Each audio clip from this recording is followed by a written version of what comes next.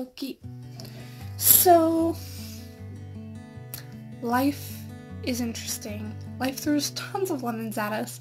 Life sometimes throws rocks and boulders and just, just a lot. Okay, life is life.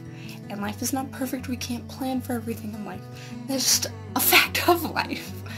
Um, and I just, and I didn't even write down all the points I want to make just because sometimes the rabbit trails happen. The points I want to get to are from rabbit trails. So, we'll just jump in. Let's just, let's just get it. One of the first points I wrote down, and my mom helped me write down from after I was just discussing things with her was, you aren't your past mistakes. And my mom actually told me this quote that she found, and it's, you're more than yesterday. And to be honest, a lot of these things that we're gonna, I'm going to talk about with you is they all go together in some way, shape, or form. And that's things I've learned. One of the huge learning tools that I'll keep mentioning is this book, which is by Sadie Robertson, and this is the Live Original book. This book made a huge impact in my life um, last year. Uh, I was always someone who was insecure, always thought about what other people thought, just crazy amount. And I let, I made, everyone makes choices and mistakes. I made some as well. Just, you can't go back and change it. Um, a lot of things happen to you. You know, people get emotionally abused, people get physically abused, sexually abused. I mean, there are so many ways people get damaged these days and it doesn't even have to be abuse it can be they got hurt or whatever if you one of the things i learned is if you don't let go of what happened. It will ruin your future. If you don't let what happened in your past relationship that went wrong or whatever go your future one is in danger. Because we have a tendency to have tons of baggage and everyone has their own baggage but we have a tendency to bring our baggage person to have the same baggage so to say. Um i learned and i at one point was emotionally abused. I've gone through a lot. I let i was not a strong person. And I love what people thought of me determine my worth and stuff, and we'll get into that later, but, um, I have been cheated on more times than I can count, okay? Um, just in past relationships. And for a while, I was like, why me? What did I do to blah, blah, blah, blah? You know, typical things people ask when they cheated on. And the emotional abuse thing, like, there's repercussions for bad things that happen. Like, what you do has an effect on someone.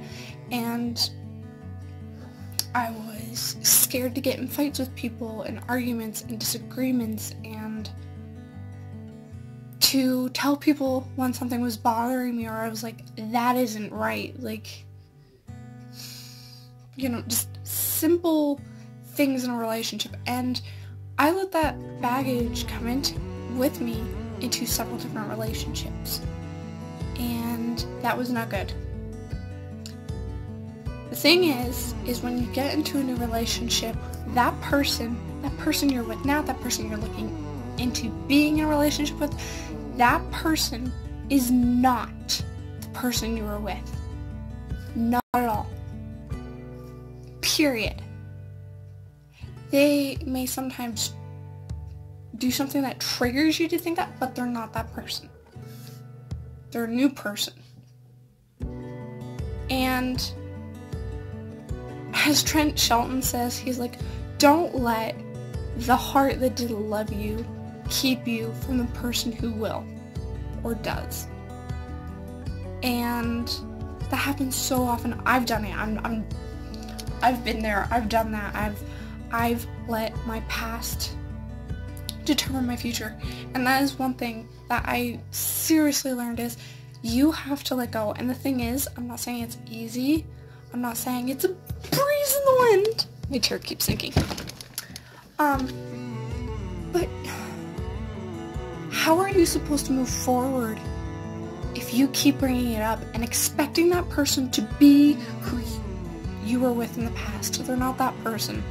It's unfair and it's showing a lack of faith in them and trust in them if you keep doing that. Like, it and it can be hurtful to them because they're like, you know, and I'm not saying everyone is perfect, whatever, but I am saying to the people who actually care about you and love you, that can be hurtful because they're like, I'm not that person. And you'll be like, yeah, well, so-and-so did this to me, or so-and-so cheated on me, or so-and-so is this way. I know you're not that person, but so-and-so, stop. Okay? They're not that person. If they actually care about you, they don't want to hurt you. In fact, they want to help you and build you. They're not that person in the past. You need to let go of what happened in the past instead of you letting it control you, um, letting all the bad things that happen to you. And this can be in any situation, not just relationships, but in general in life.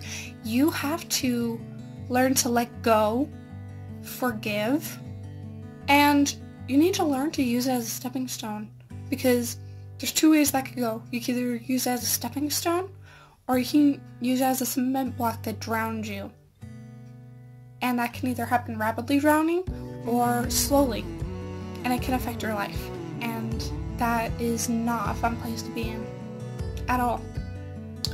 Um, another thing that kind of ties with somewhat what I was mentioning, I guess some of these things are kind of like tied together. Um, you are not defined. You are not defined from your past, and your worth does not come from your past or what people think, what people say, what you think of yourself, or the mistakes you've made, the choices you've made. Um, it doesn't, it, none of that comes from that. It doesn't matter, your worth doesn't come from your job position, it doesn't come from how much money you have. Your worth comes from God. And a lot of people aren't gonna like that, but you know what? Your worth doesn't come from other people. It doesn't. Because, for one, people on this earth are ridiculous. And you have worth. And I was someone who let myself, because of lack of confidence and stuff, feel and act as if, and let people tell me that I didn't have worth. And that is so, that makes me feel so frustrated, like not even frustrated, just kind of disheartened that I let people do that. I have worth. My worth doesn't come from me. My worth doesn't come from the rumors that are said about me, which that's a whole nother topic, but my worth doesn't come from I'm struggling or my worth doesn't come from, you know, the fights I'm fighting or uh, the you know what people say about me, what friends I have, or what my part, or if I have a partner or not, who my partner is, what they say about me. Um, your worth doesn't come from that. Your worth comes from God, and there's no other way to put that. You know, your your worth so much more than most people will try to let you think, to be honest. People like to tear down each other, and, you know, it just... God loved me so much, and he loved you so much that he died on the cross. And, you know, we need to... We're not, you know, special gods or whatever, but we do have some worth. God wouldn't want you to stay, you know, God wouldn't want someone to stay in an abusive relationship. He cares about you too much. He loves you too much. God doesn't want you to keep beating yourself down because you made a mistake or you're letting people walk all over you or use you because he cares about you. You have worth. You are his child and you have worth. It's... And that's one thing that was really hard for me to get a hold of because I let some of the most nasty rumors get to me and I was like, oh, I have no worth. Oh my gosh, what are people gonna think of me? Oh. It doesn't matter what they think. My worth doesn't come from them. In fact, because of the change in my mentality now, some of the rumors I hear make me laugh because I'm just like, oh, wow. uh, anyone who knows me knows they're not true. And my work doesn't come from what they think or what they say or what I think or what I say. My worth comes from him, not them. You know, and it's it, it's mind-blowing. Another thing is it's okay to have bad days. It's okay not to have everything figured out. It's okay to, you know, it's okay if you have days where you feel off and you don't know why. And, or it's okay that your day just right and left seems to be blowing up in your face. You know, it's okay. Society, like, Kaylin Nicholson just nailed it on some points when I watched her video was, um, society these days, you know, we look at Facebook first thing in the morning, as she said, and we see, for the most part, social media is where we put our highlights, you know, it's where we put our good days, our good face, um, our good makeup looks, our good hair days, or, you know, whatever. My face right now is like a greasy mess. I'm in sweatshirt and tank top, and my hair is a greasy mess and pokey. I mean, it's not my best day. But that's what we view society for, and we have kind of, I don't even know how to say it, but like, society has made it almost seem like it's bad to have bad days. It's bad to not know why you're having an off day, and that we have to have everything figured out and stuff like that. And certain personality types, you know, they just, they like to have structure, they like to know, they like to plan, they like, and you know, you, you can't always have plans, and sometimes, you know, you need to embrace that you're not feeling okay, you're not okay, your day isn't okay, but you also, with that being said, you also need to make sure you're not doing self-pitying all the time. It's okay to have your 15 minutes of crying and whatever, but if you're doing that all the time, that's so unhealthy. I have seen people um, just be so obsessed with self-pity and leaning on people all the time and looking for justification in what they people say or whatever and it's so so bad it's okay to have bad days but you need to make sure you're not doing self-pitying and dwelling on all the bad things all the time because that is not healthy. Ha- if you have a bad day, it's okay. It's okay to have bad days. I'm, to be honest, I'm having an off a few months. Not really sure why. I mean, I have a few clues, but, you know, but it's okay. And on those days, you need to do small things that encourage you. Read your Bible, do devotions, pray, watch you know, Christian movies, watch Dick Van Dyke uh, TV show, that's my go-to. Watch Disney, buy a candle, drink coffee, go to Starbucks, go to Dunkin' Donuts, read a book, work out. You know, there's so many things that you could do that are just small, small, simple things that can make just a biggest impact. And sometimes you also need to remember that, you know, on bad days or off days or whatever, you can't, some days you can fully turn that day around. But it's okay if it's a day that you can't fully turn around that day around and make it great. Sometimes you need to let the bad day be a bad day and do small things in that day to make it better. Not fix it. Not make it, you know, not make it great and amazing and good, but make it better.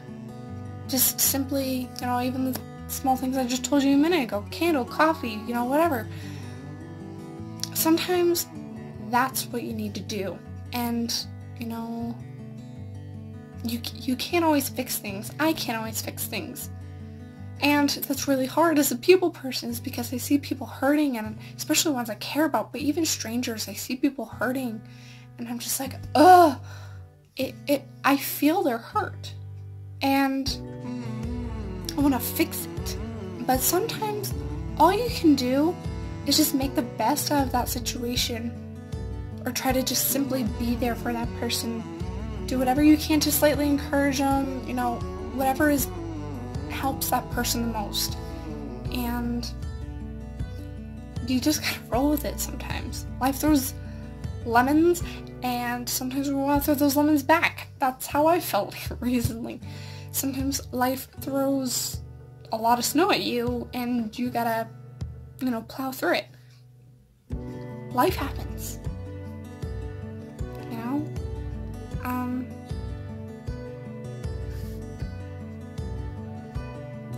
Another thing I've noticed is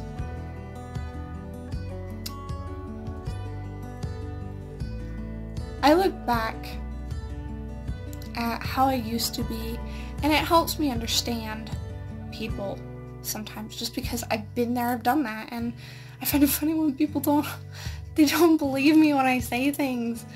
Um, and it's either because I think part of it is they don't want to hear it. You can't tell someone something or help show someone something or help someone when they don't want it. And been there, done that too. Um, been on both ends of trying to do that. Um, some people don't want to hear it. They know you're right, but they don't want to admit it because they don't want to do it. They don't want to... They don't want to become real or whatever. And I look back, I was so insecure. And because of that, when I was with people, it made me feel better and it felt like my dad always told me you can you know how someone feels about you by how they treat you. Actions speak louder than words. And I didn't take that really in until um I gotta make sure my glasses. Um, later. And because of that, I got my justification of knowing someone was cared about me was by what they said and by telling me all the time how much they cared about me and it made me feel better and that they were right. Thing is, people can tell you as much as they want, how much they care about you, how much they love you, but in the end, it's their actions. I have been there. Hmm.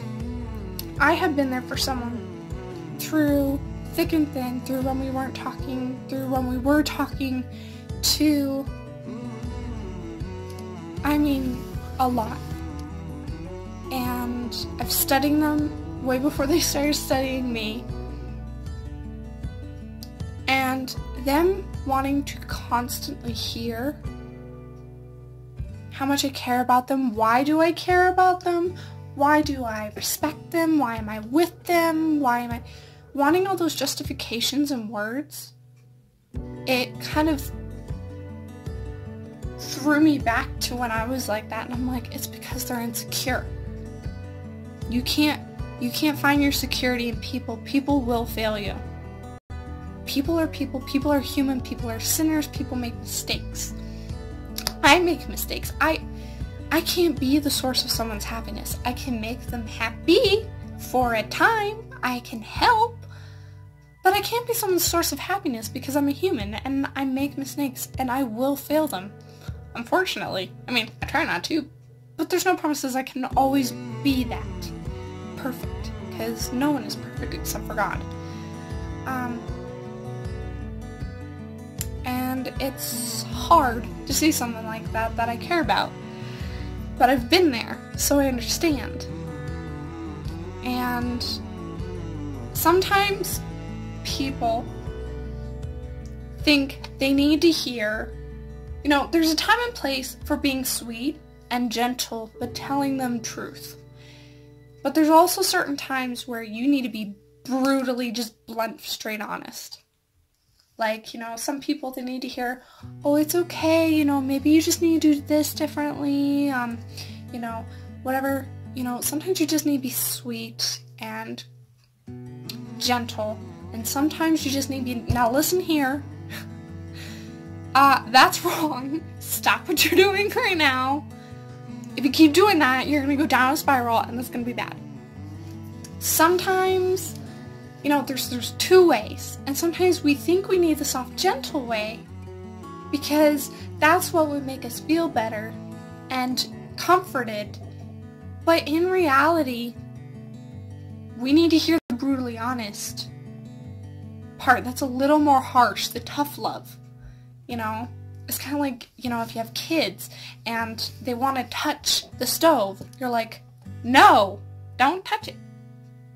Because, you know, or, you know, you smack their hand to try to help them understand. That's tough love. Like,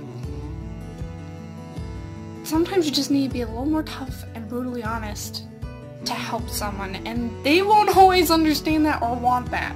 Sometimes they just want certain people want to just you to feed into their self-pity and oh comfort me and blah blah blah blah blah when in reality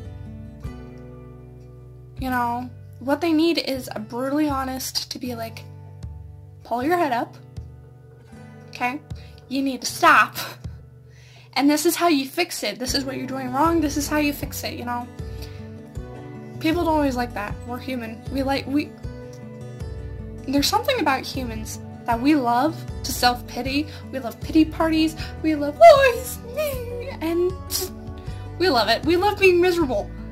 Why? I, I don't really get why we like being miserable, but it's part of human nature to love being miserable. And that's not good. It's not good at all. The chair keeps sinking. It's not good at all. And...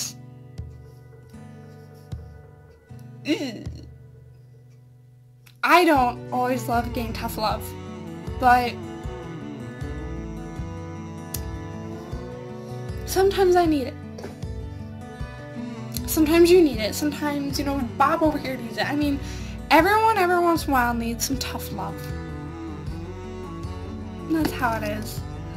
Um, another thing is a positive mind, and I used to, it's so funny, when I was younger, I used to be so positive, I'm pretty sure I made people sick because I was just so really positive. And then life happened and I kind of lost my positivity. And I grew very I could be I I tend to be better with helping other people with their things and their issues than I am with helping my own. That's just how I am. Um, so I'm good with being positive and helping other people be positive, but I really suck in myself. Until I learned, like, got this book and started reading it, and one of the first things she starts talking about is a positive mind and to be happy, because um, if you watch Duck Dynasty, Uncle Si's um, most famous quote is happy, happy, no, no, no, no, that's the other one. Uh, Phil Robertson I'm like needing a second cup of coffee. His, you know, one of the favorite quotes, anyways, off Duck Dynasty is "Happy, happy, happy," and she talks about that, and she talks about how it's a choice. Lots of things are a choice. Like I'm pretty sure some people are really tired of me being. It's a choice. Okay, it's a choice. You're choosing to be that way. You're choosing this. You gotta choose this. I'm pretty sure everyone's getting sick and tired of me being. It's a choice. But that's one of the biggest things from this book I picked up was it's a choice. Everything is a choice. It's a choice to have a positive mind. It's a choice to have a positive life. It's a choice to let your past have effect on the now. It's a choice to, you know, what someone did to hurt you a while ago to still have effect now on you. And rabbit trail if you're letting your past from what people did to you in the past have effect now, you're letting them win. And that is something that I realized and I was like, I'm done. I'm done letting people in my past who hurt me or whatever have control over me now. I'm going to rise above it and try to make sure that I move forward because they're in the past for a reason.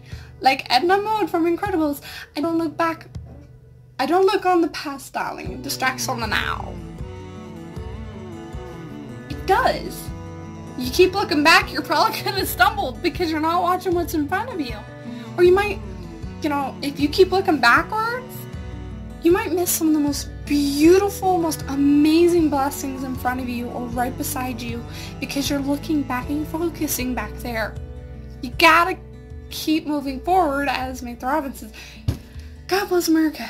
Disney quotes apply to everything and Pixar. but everything is a choice. You gotta choose to be happy. You gotta choose to have a positive mindset. You gotta choose to move forward. None of these things are easy. All of these take practice, but you gotta choose. If you don't want it, it's not gonna happen, but you gotta choose. It's a choice. Choice. Choice. Choice. Glad get the chance to make balls. One.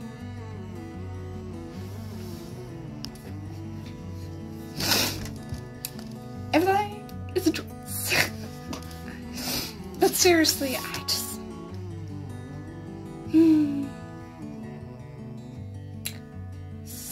going on right now. I'm trying to think if there's any other points that I have. I'm trying to think of what me and my mom all talked about.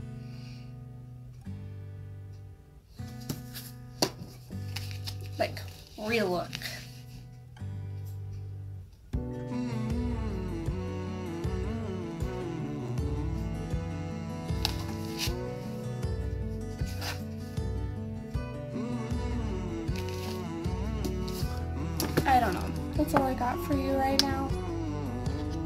This video is of help. Um, yeah. If, I don't, I wouldn't say this is a gender specific book for like just females. Um, I would really suggest it. It's a super easy read though. Um, and I've highlighted in mine, no shame. Um, it helps remind me which parts really stick out to me. Um, but, and I haven't even finished it, I only, I stopped for a little bit, but, um, I highly suggest this book by Sadie Robertson. It made, um, so many points that really affected my life and changed my way of thinking. And it was really good. And, yeah. If I think of anything else, I'll probably either just add it to this video or do an entirely separate video. I hope you all have a wonderful day. I hope you have a fabulous week or whatever. And remember that you are more than the choices that you've made. You are more than yesterday. Each day is a new day. Choose to be positive, and it's okay to have bad days. And you are worth